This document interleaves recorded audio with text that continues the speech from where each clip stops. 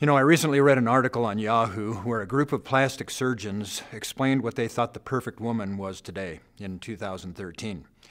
They cited a collection of body parts that were from an assortment of celebrities that they would Frankenstein together to make the ideal woman. It appears what they're saying is that the paragon of womanhood doesn't really exist in the world today. My, how times and opinions have changed, because in that same article, it reported that a century ago there was such a woman.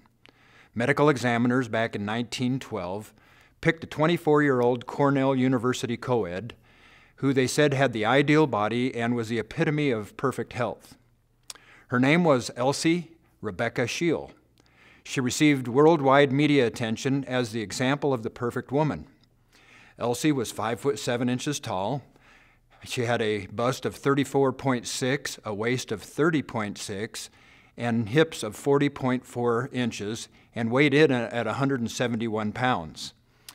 In today's language, she would have had a BMI of 27, which is firmly in the overweight category. Today's standards, uh, if we were to follow those, at five foot seven, she should weigh between 118 and 159 pounds. She was nothing like the wafer thin runway and magazine models that we see today. Interestingly enough, back then, eating disorders such as anorexia and bulimia were unheard of. Some facts about Elsie were that she was never sick or hospitalized. She was a picture of health, never took an aspirin or a Tylenol. She ate lightly, only eating three meals every two days. She became a nurse and was always active and athletic. She did eat some meat, but was uh, into avoiding sweets and caffeine. She drove her own car until uh, she was quite old and died suddenly at age 91 of a perforated bowel.